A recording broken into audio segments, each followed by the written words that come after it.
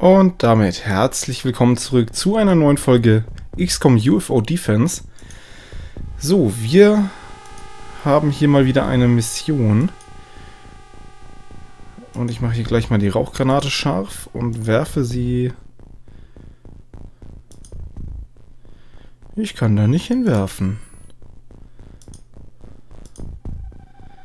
Was ist dein Problem? Okay, dann schmeißt du halt so auf die Rampe. Ist auch in Ordnung. Geh mal hier hin. Stimmt, das ist eins dieser ganz, ganz großen UFOs. Ich erinnere mich. Das ist jetzt halt auch wieder ein paar Tage her. So. Die Leuchtkörper werfen. Okay, da hinten schaut es relativ sauber aus. Wir sind am unteren linken Rand. Das ist vielleicht auch gar nicht mal so verkehrt. Natürlich wollen wir die Zeitreserve auch noch haben. Ein Stück nach vorne. Für die Hocke reicht es natürlich nicht. So.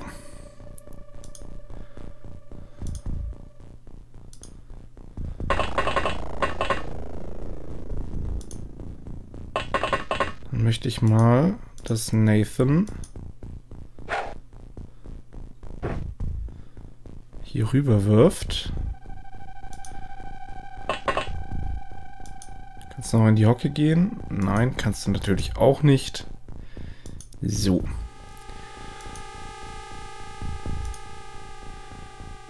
Na, hatten wir... Doch, so ein, so ein UFO hatten wir definitiv auch schon mal. Das war, glaube ich, sogar auch eine Nachtmission. Wenn mich nicht alles täuscht. Deswegen bin ich schon mal gespannt, was uns jetzt hier so erwarten wird. Mit was für Gegnern wir es hier zu tun haben. Bisher haben wir noch niemanden gesehen.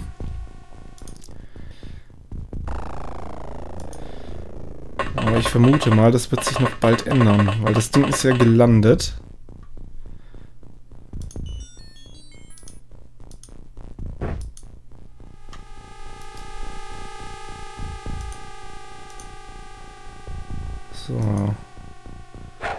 Einfach mal ein paar E-Leuchtkörper rumschmeißen. Dass wir auch schön was sehen.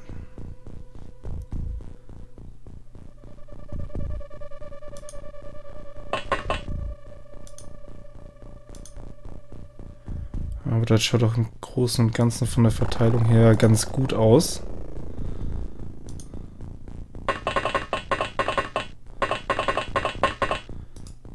Sollte vielleicht noch jemanden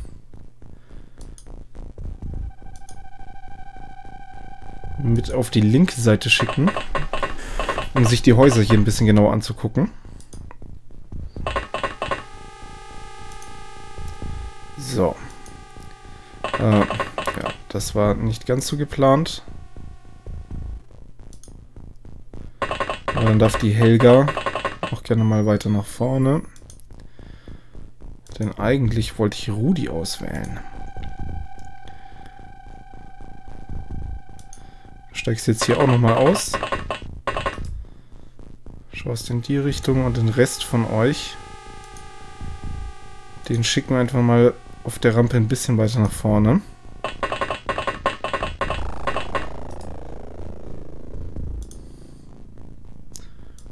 Und dann einmal im Skyranger auf, aufrücken.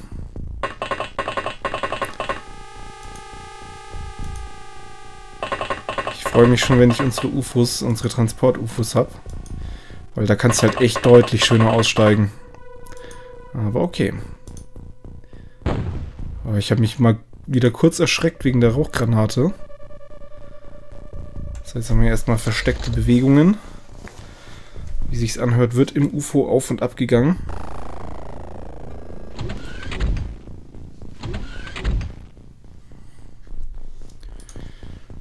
immer noch keinen Kontakt. Aber das ist okay. Das ist alles noch im Rahmen.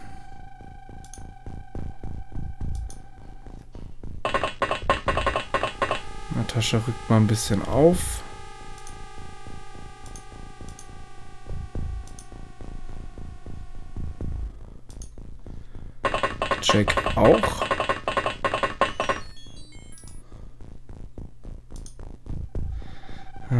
Ich wieder vergessen, auf den Autoschuss zu gehen.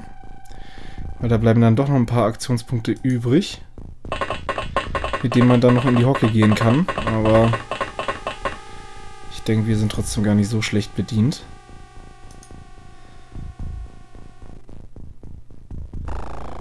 Ähm, du hast ein Lasergewehr. Machen wir bitte einen Schnellschuss.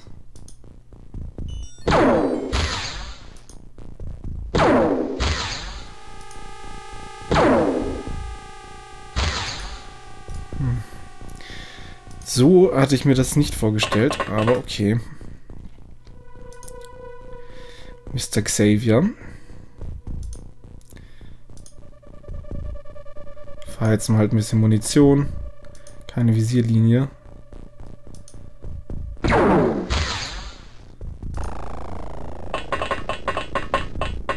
da reingeglotzt. Hier ist nichts.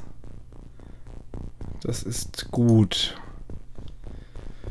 Okay, hast du noch einen Leuchtkörper? Ja, das ist sehr gut. Dann darfst du mal bitte... hierhin weiterlaufen. Den Leuchtkörper hier mal in die Pampa werfen. Und die restlichen Schritte auch noch nach vorne. In die Hocke gehen darfst du von mir aus auch noch. Weil einen Reflexschuss hättest du sowieso nicht mehr machen können.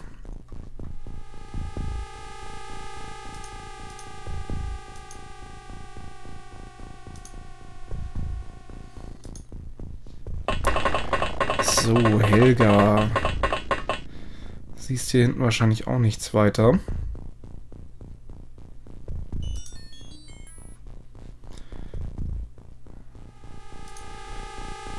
Dem Rest rücke ich weiter in Richtung UFO vor, denn ich möchte hier doch gerne ein paar Leute zur Verfügung haben. Weil sich das ja immer schön in vier Wege aufteilt. Haben wir ja auch schon gelernt.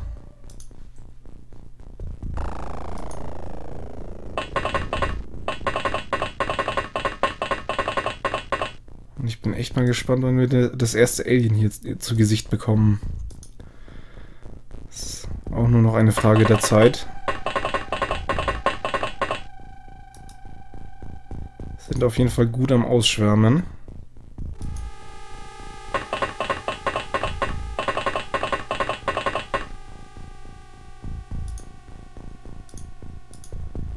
Kannst schon mal deinen Leuchtkörper in die Hand nehmen.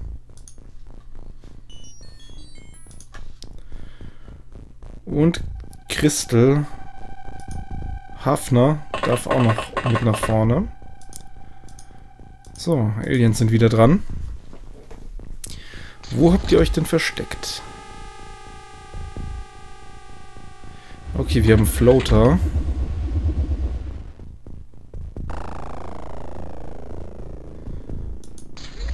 Die guten alten Treiber.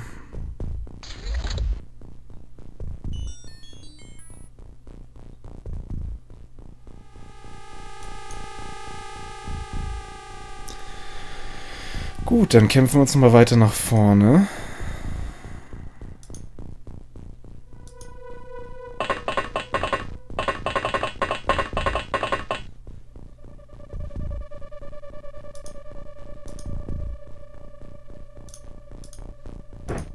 Nehmen hier mal eine Rauchgranate. Granate scharf machen. Granate werfen.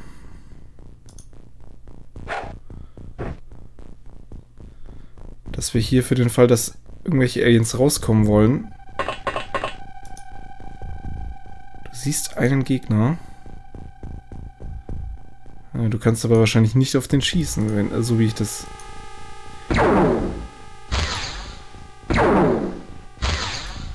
Ja, spar dir deine Munition. Ich weiß eigentlich nicht, warum ich ein zweites Mal schon geschossen habe. Weil das war eigentlich der absolute Schwachsinn.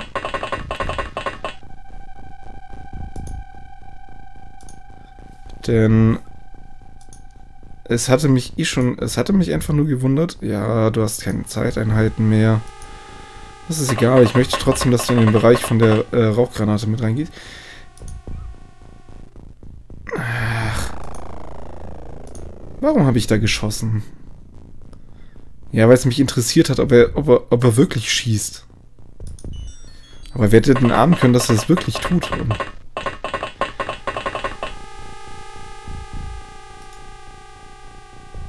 Dementsprechend war es eigentlich auch schon wieder halbwegs klar, dass ich ein zweites Mal versuche abzufeuern.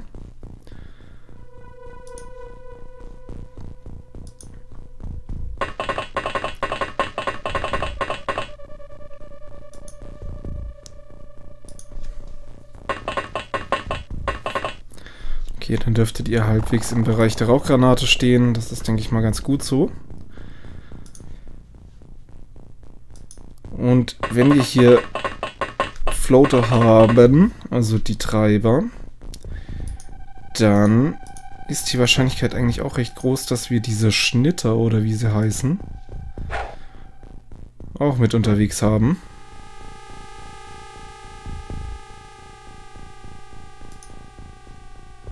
Weil die hängen ja gerne zusammen rum. Und ich sollte mir wirklich noch ein bisschen angewöhnen, meine Zeiteinheitenreserve aufzuheben.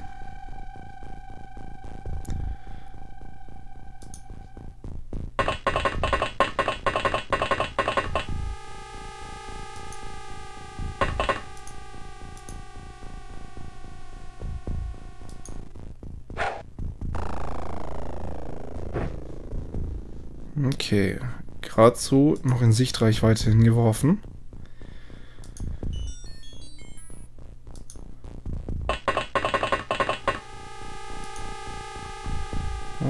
Dann können wir hier mal weiter die Häuser sichern.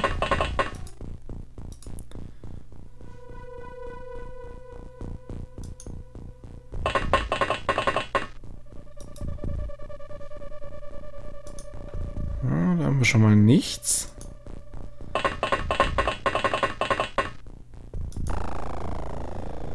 Und Christel... Du darfst mit in Richtung UFO gehen.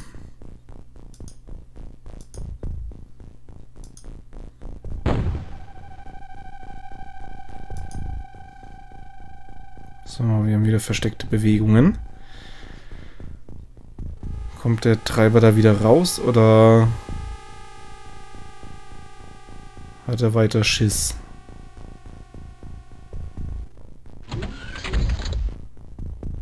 Es werden auf jeden Fall Türen betätigt.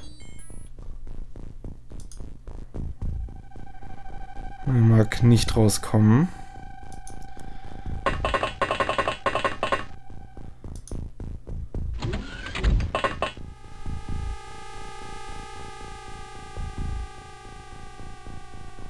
Du siehst zwei. Beide natürlich im oberen Stockwerk.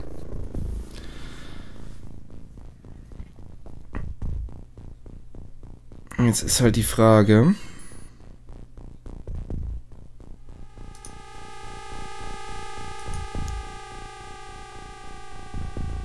Kannst du auf die schießen?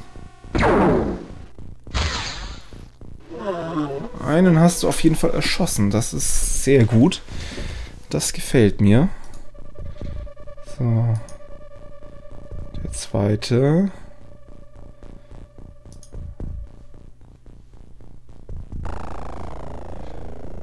Siehst du auf jeden Fall auch. Das heißt, ich schicke Natascha mal hier rein.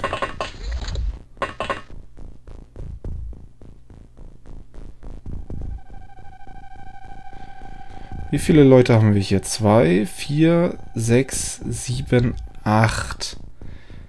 Das ist ungünstig.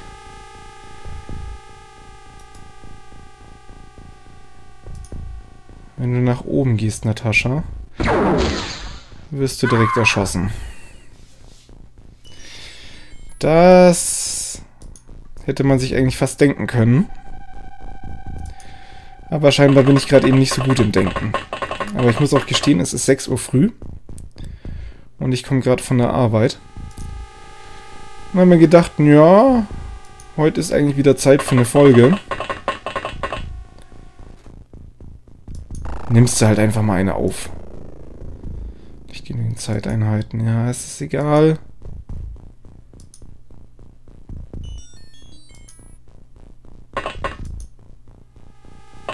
Siehst du, von wegen nicht genügend Zeiteinheiten. So. Kannst du bis hierhin laufen?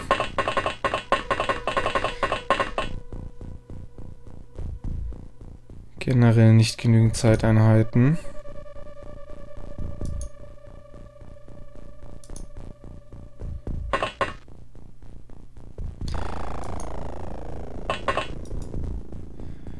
Blockieren hier jetzt auf jeden Fall mal ein bisschen die, die Möglichkeiten, dass sie hier runterkommen.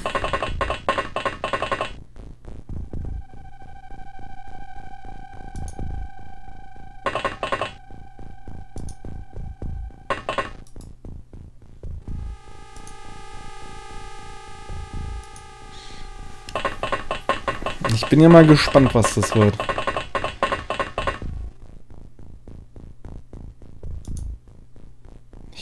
Zeiteinheiten von wegen. So, dann sehen wir auf jeden Fall schon mal.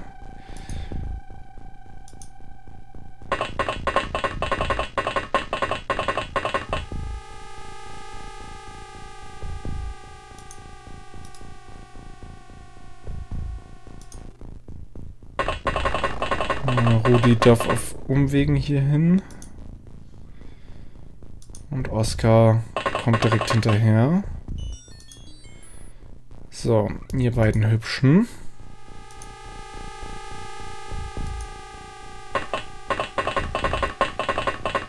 Es geht weiter nach vorne. hinten scheint dann die Map auch schon wieder zu Ende zu sein. Crystal. Wie weit schaffst du es noch?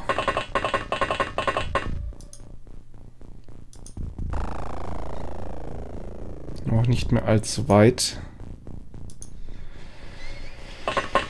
So, Nathan. Alter Scharfschütze.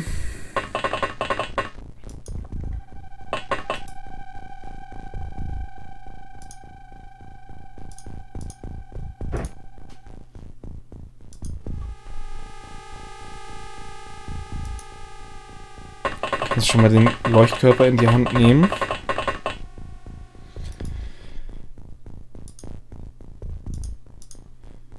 Und Xavier genauso. Vermilion. Einmal geradeaus durch. Für einen Schnellschuss bitte. Ja, und dann sind die Aliens wieder am Zug. Schauen wir mal, ob sie uns da in der Mitte irgendwie versuchen, eins reinzuwirken.